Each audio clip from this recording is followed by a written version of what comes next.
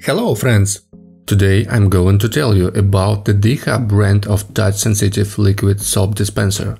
I have been using it for almost a year now, and I have a lot to say about it. Link on this gadget below the video. The full video on my channel.